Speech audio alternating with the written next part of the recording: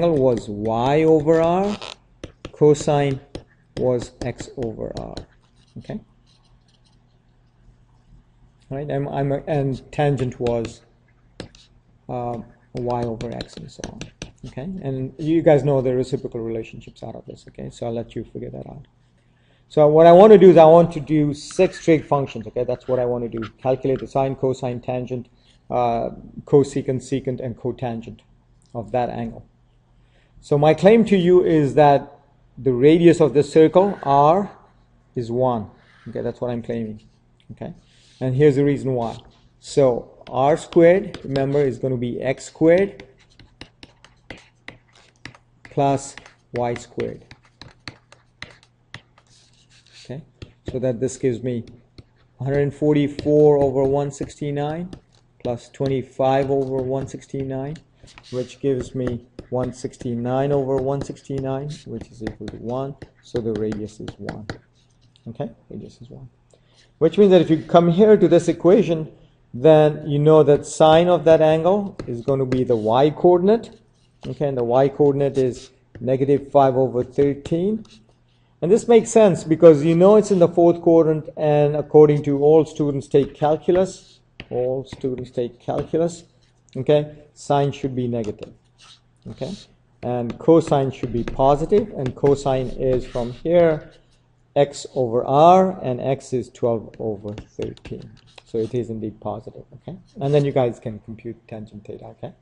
All right, actually, let me do that. Tangent theta is going to be this over that, so it's minus 5 over 13 over 12 over 13, which is equal to negative 5 over 12, okay? All right. A um, couple of more examples to do.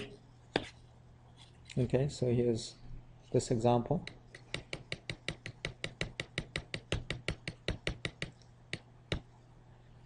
So it says find the point x comma y on the unit circle that corresponds to the real number t.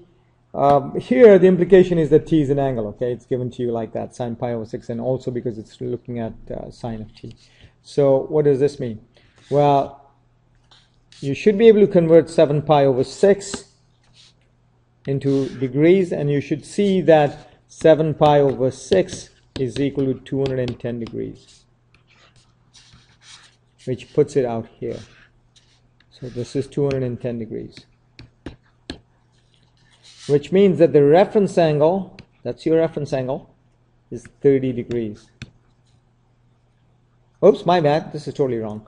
210 degrees is not in that quadrant. Let me um, raise this stuff out here.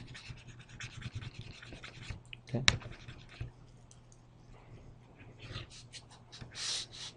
Two hundred and ten degrees is out this way here. Okay.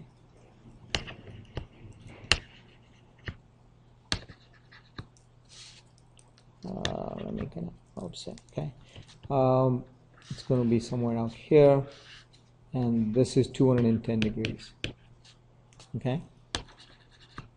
And my reference angle here is 30 degrees. So since sine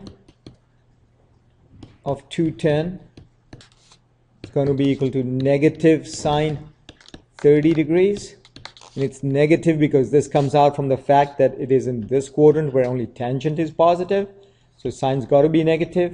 And then from your friends table, you know that sine 30 is a half. Again, friends table comes to uh, uh, shows up again. That's why it's called a friends table. It's always there. And you know that sine of an angle is always y over r, and r is equal to 1. It's on a unit circle. Okay, it tells you right there that's a unit circle. Okay, and so y is equal to negative a half.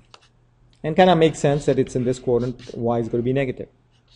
And then cosine 210 in Q3 is going to be negative and it's going to be negative cosine 30 and once again your friend tells you that that's negative root 3 over 2 so your xy coordinates for that point are negative 1 half negative root 3 over 2 okay?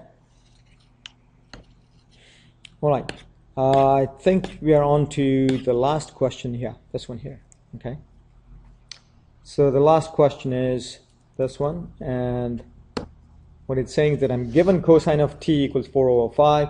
I want to find this, okay? Uh, let's not worry about this one here for the time being. Let's just do this one because that's all I did in class. Cosine uh, pi minus t. So let's take a look at it. So what we're going to do is we're going to start out putting t in the first quadrant, okay? First quadrant. Ah.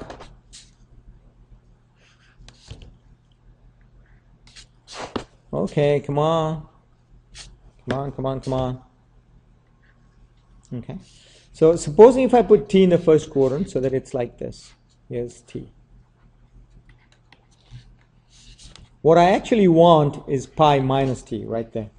Okay, right there. I want pi minus t. So this is how I get that. I'm going to go pi, okay, in a counterclockwise direction, and then I'm going to go minus t. Remember, minus sign is in the clockwise direction, so I'm going to go this way here. And so here is my angle. This is pi minus t. Pi minus t. Which makes the reference angle equal to t. So going into the way we calculate trig functions, okay, that are in the, in, in the other quadrants, I'm going to go cosine pi minus t. And since this is in the quadrant where the letter s stands and cosine is going to be negative, I've got this as negative cosine of t, which is negative 4 over 5. Okay? And so that's the last example of the day, and I'm done.